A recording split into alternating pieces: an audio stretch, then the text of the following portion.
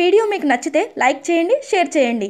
ఇలాంటి మరిన్ని వీడియోల కోసం మా ఛానల్ని సబ్స్క్రైబ్ చేసుకోండి. ప్రపంచ దేశాలనే తన గుప్పిట తెచ్చుకోవాలని ఆర్థిక వ్యవస్థల్ని అతలకుతలం చేయాలని చూస్తున్న డ్రాగన్ని దెబ్బ కొట్టేందుకు మోడీ ట్రంప్ కలిసి మరో సూపర్ పద్మ వ్యూహాన్ని రెడీ చేస్తున్నారట. ఇది అక్షరాల నిజం. ఇప్పుడు ఇటు అమెరికా అటు ఇండియా కొట్టిన దెబ్బలు సరిపోవని భావించిన మోడీ ట్రంప్ కలిసి చైనాకి ఒక షాక్ ఇచ్చేందుకు రెడీ అవుతున్నారు. చైనాకి తగ్గట్టుగా ఒక భారీ పద్మ వ్యూహాన్ని ఏర్పాటు చేస్తున్నారట. ఏ ధనబలాన్ని పెట్టుబడిదారిధనాన్ని అయితే చూసుకొని విర్రవీగుతున్న చైనాకి అదే దారిలో మోడీ ట్రంప్ కలిసి షాక్ ఇచ్చేందుకు మరో అద్భుతమైన స్కెచ్ వేస్తున్నారట. ఈసారి చైనాకి పడే దెబ్బ తాలూకు నొప్పి చైనాకి కొన్ని ఇయర్స్ ఉండేలా ప్లాన్ చేస్తున్నారట మోడీ ట్రంప్. ఇంతకీ మోడీ ట్రంప్ కే షాక్ తెప్పించిన చైనా దుర్మార్గమైన ప్లాన్ ఏంటి? ప్రపంచ దేశాలపై చైనా కొత్త స్కెచ్ ఏంటో తెలుసుకోవాలంటే ఈ వీడియోలో మేం చివరి చెప్పే అసలు కారణాన్ని చైనా దుర్మార్గాన్ని మిస్ అవ్వకండి. ప్లీజ్ చైనా యాప్ను ఇండియా నిషేధించటం ప్రపంచ దేశాల ముందు చైనాను భారత్ ఆడించటం ఇవన్నీ చూస్తున్న ప్రపంచ దేశాలు ఒక్కొక్కటిగా మేం కూడా చైనాకు బుద్ధి వచ్చేలా చేస్తామంటూ చర్యలు చైనాకు వ్యతిరేకంగా తీసుకోవడం స్టార్ట్ చేశాయి. ఇందులో ముఖ్యంగా అమెరికా గురించి చెప్పుకోవాలి. అమెరికా అధ్యక్షుడు డొనాల్డ్ ట్రంప్ ఇండియాలో టిక్ టాక్ నిషేధించటంపై ఆలోచిస్తూ తామెందుకు నిషేధించకూడదని అనుకొని ముఖ్యంగా అమెరికా యువత టిక్ టాక్ వల్ల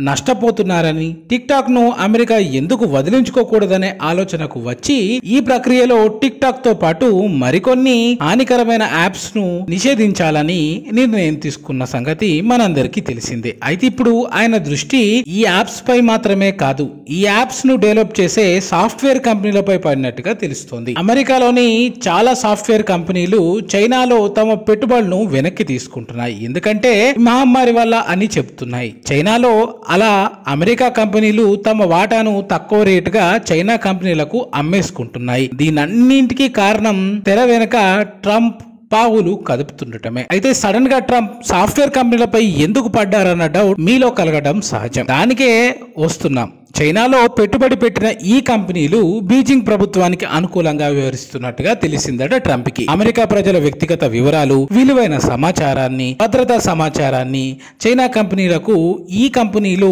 చేరవేస్తున్నాయనట ఇలా ఈ కంపెనీలన్నీ చైనాకు సెన్సిటివ్ ఇన్ఫర్మేషన్ షేర్ చేయడం వల్ల ఇది అమెరికా జాతీయ భద్రతకే సవాలుగా మారుతుందని గుర్తించిన అమెరికా విదేశాంగ మంత్రి మ్యాక్ పాంపియో ఇలా అమెరికాలో తిష్ట వేసుకొని కూర్చున్న చైనా కంపెనీలు అమెరికన్స్ యొక్క విలువైన సమాచారాన్ని జాతీయ భద్రతకు సంబంధించిన సమాచారాన్ని చైనాకు చేరవేస్తుందన్న అనుమానంతో అమెరికా విదేశాంగ శాఖ మంత్రి మైక్ పాంపియో ఇలా అన్నాడు. ఏంటంటే సాఫ్ట్వేర్ కంపెనీల అంశం చర్చకు వచ్చినప్పుడు ట్రంప్ అయ్యింది చాలు. మనం దీన్ని సరిచేద్దాం అన్నారని. అంటే త్వరలో చైనా పెట్టుబడులు పెట్టిన అమెరికా సాఫ్ట్వేర్ కంపెనీలతో పాటు చైనాకి చెందిన సాఫ్ట్వేర్ కంపెనీలపై ప్రభుత్వాలు కఠిన చర్యలు తీసుకోబోతున్నాయని పాంపియో తెలిపారు. కానీ ఇప్పటికే తెర వెనుక ఈ ప్రక్రియ జరుగుతున్నట్టుగా తెలుస్తోంది. రెండేళ్ళుగా అమెరికాతో వాణిజ్య యుద్ధానికి దిగిన చైనా లేనిపోని వివాదాలను రాజేసుకుంటుంది. అదే సమయంలో ఇప్పుడు ఈ మహమ్మారి రావడంతో ప్రపంచ దేశాలన్నీ చైనాపై గుర్రుగా ఉన్నాయి. దీనికి తోడు శాంతి మార్గంలో వెళ్ళే ఇండియాని రెచ్చగొట్టడం చైనా మరో పెద్ద తప్పు. డ్రాగన్కు కళ్ళం వేస్తూ భారత ప్రభుత్వం తీసుకుంటున్న నిర్ణయాలు ప్రపంచ దేశాలకు నచ్చుతున్నాయి. అవి కూడా చైనాకి చెక్ పెడుతుండటంతో ఈ లిస్ట్లో భారత్ను అనుసరిస్తూ అమెరికా ముందుంది. ఇక్కడ ఇలా చైనా కంపెనీల్లో అమెరికన్ కంపెనీస్ పెట్టుబడులు వెనక్కి తీసుకోవటంలో ట్రంప్కి మరో లాభం ఉంది. చైనాలో పెట్టుబడులను రద్దు చేసుకుంటున్న అమెరికా కంపెనీలు ఆ డబ్బును అమెరికాలోనే పెట్టుబడి పెట్టే అవకాశాలు ఉంటాయి లేదా భారత్లో పెట్టుబడి పెడతారు. ఇప్పుడు ఈ మహమ్మారి ఉంది కాబట్టి ప్రస్తుతానికి అమెరికాలోనే పెట్టుబడులు పెట్టే ఛాన్స్ ఉంది. తద్వారా అమెరికాలో యువతకు ఉద్యోగ ఉపాధి అవకాశాలు ఎక్కువ అవుతాయి. ఆ తద్వారా యువత నుంచి ఇప్పుడు ఈ అంశాన్ని మనం సాకుగా చూపిస్తూ కోవోట్లు దక్కేలా చేసుకోవాలని ట్రంప్ వ్యూహం రచిస్తున్నట్టుగా తెలుస్తుంది. ఏదేమైనా చైనాకి మోడీ ట్రంప్ కలిసి బ్యాడ్ టైం స్టార్ట్ అయ్యే సంకేతాలను గట్టిగానే పంపిస్తున్నారు. ఇదొక్కటే కాదు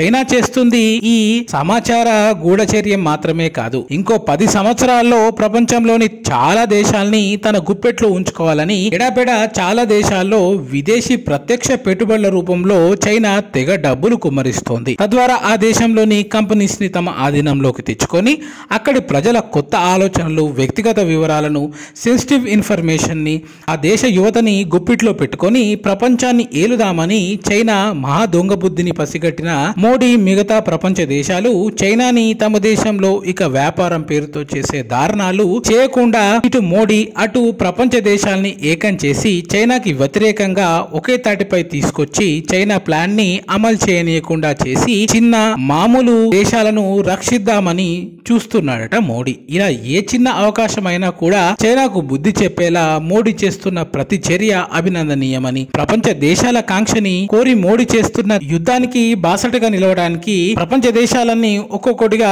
ముందుకు రావటం అసలు కారణమని రాజకీయ విశ్లేషకులు అభిప్రాయపడుతున్నారు. మరి మీరేమంటారు ఫ్రెండ్స్? యావత్ భారతే కాదు ప్రపంచ మానవాళి మంచి కోసం మోడీ నాయకత్వంలో ప్రపంచ దేశాలు చైనాపై చేస్తున్న ఈ యుద్ధాన్ని మన భారతదేశంలోని ప్రతిపక్షాలు వామపక్షాలు తప్పుగా చేసి చూపెట్టడం మన పత్రికలు తప్పుగా మోడీ గురించి రాయటంపై మీ అభిప్రాయాన్ని కామెంట్ బాక్స్లో రాయండి. మరిన్ని మంచి వీడియోల కోసం మా ఛానల్ని సబ్స్క్రైబ్ చేయండి. ఈ వీడియో కనుక మీకు నచ్చితే దయచేసి ఈ వీడియోని లైక్ చేయటం మాత్రం మరొకండి. ప్లీజ్.